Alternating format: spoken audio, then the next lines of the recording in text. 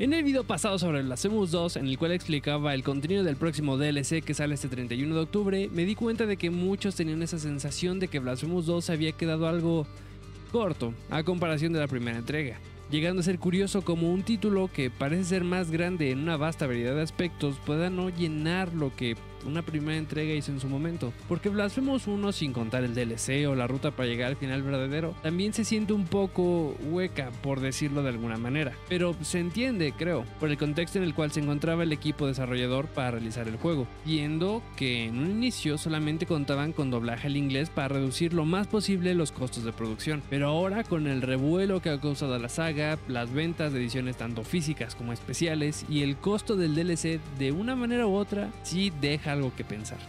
Pero más allá de eso, hoy quiero hablar de la antítesis de Blasphemous, específicamente de la segunda entrega, porque desde mi opinión, este título es un muy buen Metroidvania y altamente disfrutable, pero a su vez no siento que sea un buen Blasphemous.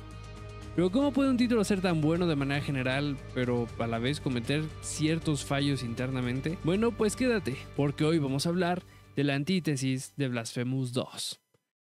Cuando salió Blasphemous, el título se le notaba demasiado que era un juego indie, siendo que yo lo conocí solo por un amigo que me lo platicó que lo había visto por ahí, en algún lado del internet. Aunque eso sí, de a poco fue haciéndose más y más conocido. Pero por el lore que manejaba, los enemigos y demás, curiosamente fue obteniendo la etiqueta de Souls-like, cuando realmente se trataba de un Metroidvania puro y duro siendo que la primera entrega ya presentaba ese plataformeo en dos dimensiones, zonas del mapa bloqueadas debido a la falta de habilidades o equipamiento para continuar explorando, teniendo que regresar a zonas pasadas en momentos futuros del gameplay para continuar con la aventura, y puntos en el mapa como lugares de respawneo en el cual podríamos restablecer salud.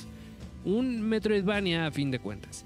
Y en la segunda entrega se nota mucho cómo el equipo trabajó duro en expandir esto, con la implementación de nuevas armas para el arsenal del personaje, ya no tendríamos que destruir o activar objetos para continuar explorando por ciertas zonas, o desbloquear reliquias para que nos permitieran la exploración, sino que implementaban nuevas habilidades para el penitente que mejoraban su desplazamiento por el mapa, como la invocación de los querubines, los pasos de ceniza para dar un doble salto, las zonas únicas accesibles con ruego al alba, las campanas que emiten sonido de veredicto, los espejos de Sarmiento y centella o el dash aéreo son claves para poder explorar el mapa e indispensables para terminar la aventura, eso sí. El hecho de que puedas viajar entre los predios encontrando a las hermanas y no solo donando una cantidad inconmensurable de lágrimas de enmienda a la iglesia es prueba también de que si quieres facilitar el desplazamiento, más que farmear hay que explorar bien el mapa. Elementos que textualmente y a mi parecer hacen que Blasphemous cumpla en toda regla con la descripción de Metroidvania, contando con herramientas más que necesarias para ello. Pero, como metiendo tantísimas cosas, es que hay muchos que preferimos el primer título por encima de este. ¿Por qué es que les digo que no es un buen Blasphemous? Bueno, pues hay que hablar también de la estética del juego y el lore del mismo. Estoy de acuerdo al decir que si no fuera por el cómic precuela no te enteras de nada sobre el comienzo de nuestra aventura, tanto por qué recorremos el camino asignado por el milagro, por qué el penitente obtiene la espada culpable, pero de ahí en más, todo, si no es que la gran mayoría del título, tiene una explicación de ser o estar en el camino siendo principalmente los enemigos con los que peleamos los cuales enuncian el camino de penitencia que seguimos. Pero es que Blasphemous 2 hay incluso jefes de los cuales no hay lore que podamos encontrar en objetos, retablos y etcétera siendo que se basa más que nada en enrutarnos en la historia principal más que en enriquecer el mundo de Blasphemous, algo que el primer título hacía cada que tenía la oportunidad. Conocer custodia, las penitencias de los que nos rodean y por qué cruzamos caminos es lo que hace a sentirse de una manera tan, tan blasphemous.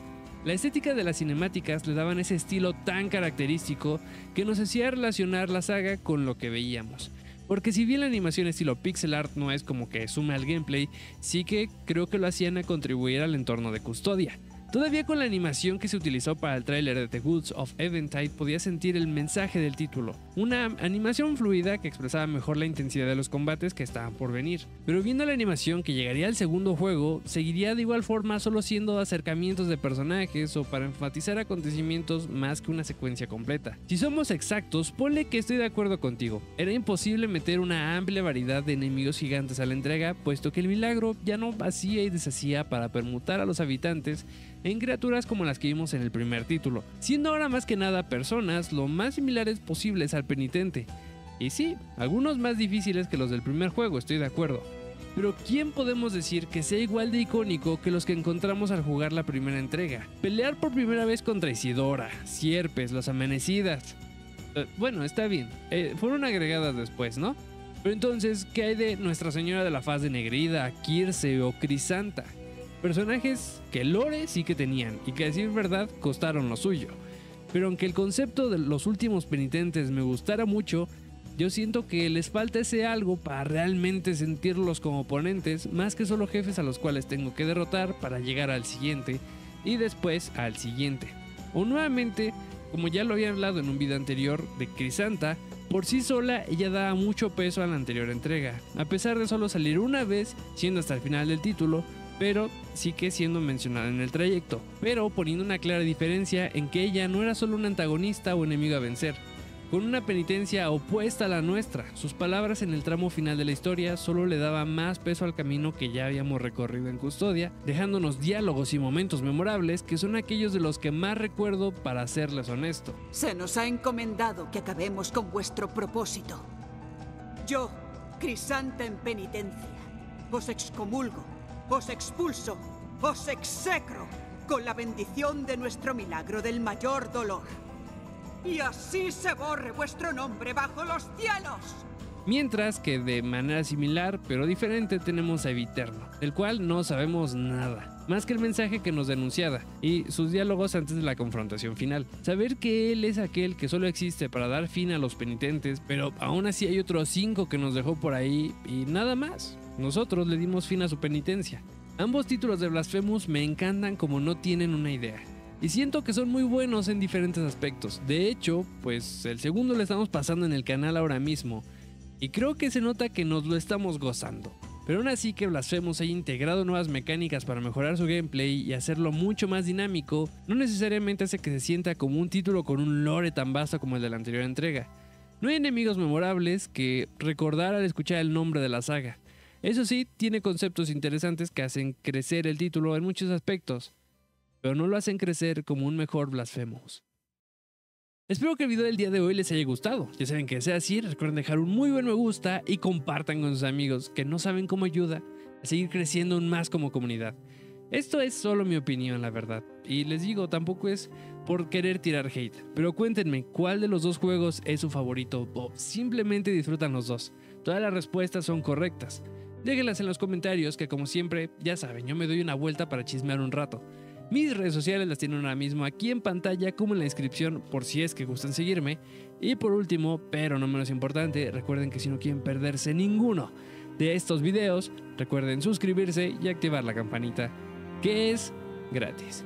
Y sin nada más que decir, nos vemos la próxima y adiós.